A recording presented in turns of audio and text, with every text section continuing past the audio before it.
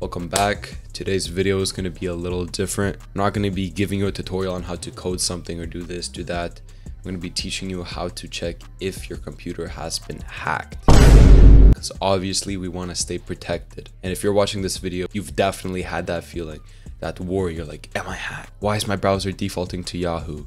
Why do I keep seeing CMD windows pop up? That fear or, oh, maybe I shouldn't have gone on Steam Unlocked. Trust me, I know exactly what you're feeling because I've been there so many times. Anyway, there's so many ways that you can be hacked. I can't even cover all of it. So in this video, I'm going to cover one of the most, I'd say, important ones, or the ones that I was worried about the most, at least. And that's going to be checking if you have a Trojan on your computer, seeing if there's an active connection between your computer and the hacker. By the way, this video is for educational purposes only. In this video, I will be explaining different techniques that hackers use and different things that malware does to hide itself and how you can make sure that you're safe and keep your system clean. So without further ado, let's hop right into it. So starting off with the best way to check if you're being hacked and that's a certain CMD command that shows you every single program's active connections. It's super useful. So you just want to go Windows R, type CMD, we're just going to be running command prompt, but you want to make sure you're running it as admin. So you want to do control shift enter. It's a little shortcut you can do and then just yes. And here we are. So the command is netstat dash nbf. Run this. So what you want to be looking for is established because there's time wait, there's established, there's SYN_SENT. So yeah, over here you can just look through all of these processes. So some of these programs I recognize and I know that they're legit. Chrome, yeah, and you can look through them. And yeah, you just scroll through these processes and if you see something sketchy and it's connected to another computer on port like 4444 or something like that, then you know something's up. So if you want to search for a specific port, so let's say you want to check for like the remote desktop port, you do 3389. If nothing shows up, okay, whew, no remote desktop. If you want to check VNC ports, if you don't know what VNC is, I'll throw my video in the cards above about it. It's basically remote desktop, like being able to view someone's screen. It's pretty scary, so like check that out. So this is basically the manual way of doing it. You just like look through these, see if anything's up.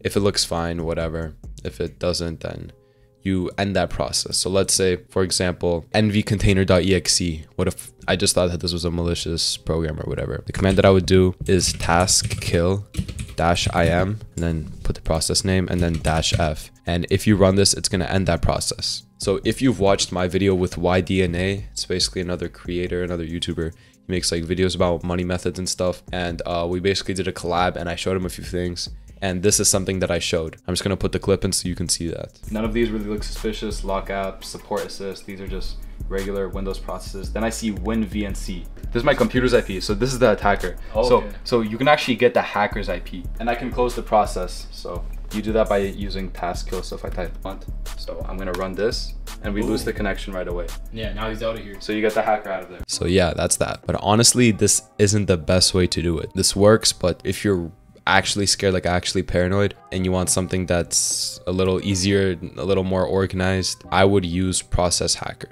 So there's many different programs that, you know, help you do this type of thing, but I really like Process Hacker. You just open it up, I'll go to network and it's the same thing. So you see all the names, you see all the remote addresses and remote ports and you scroll down and you we're basically looking at the exact same thing as we did on the command prompt window, except now it's easier you can just like see all the icons. It's a little more organized. And if you see a suspicious program, I don't know, any of these, for example, then you just right click, you can go to process, and then you can open up its file location, which is pretty useful because you can like check, you know, where it is. Like this is valid, of course, program files, OBS Studio. Like, but if it's like in some app data temp hidden folder and it's like some weird exe, uh, you probably should upload that file to VirusTotal and see what that's about. And also you can terminate the process, of course, and just end it. This is basically just like an advanced task manager, but this isn't everything because another sneaky trick that hackers can do is that their malicious file is actually a DLL. And if you don't know what a DLL is, I haven't actually made a video on that yet, so might make one soon. It's basically stands for a dynamic link library and it attaches to an exe and it has a bunch of functions that it calls. They can be injected into the process. And the way to check for that is you just go on the process, right click, properties, and this window should pop up uh, under modules And over here, you'll see all the DLLs that it uses. Let's say you found a suspicious DLL, you can literally just unload it, you can inspect it, you can open the file location. I would open file location and then unload and basically like figure out what's going on exactly. Okay, so moving on to the next thing that you can check and that's your startup folder. In case you didn't know, when you get hacked by a hacker, it's not that they just drop a file and, you know, it's good.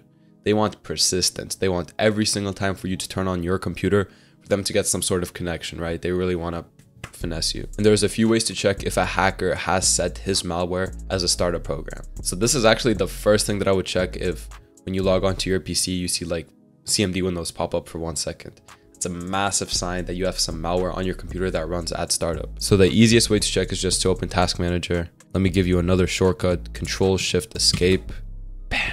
And you want to go on to startup. And over here, you will see all the programs that run at startup. So you can enable them, disable them, open the file location. I remember before, I was messing around a little too much, I would have like a thing here, it would just be like program, it would be enabled, and I couldn't open the file path, and I was like, what the hell is this? So yeah, those type of things you need to watch out for. But yeah, everything here looks fine, but sometimes you won't actually see it here. So I'm gonna show you two more ways that you can check your startup.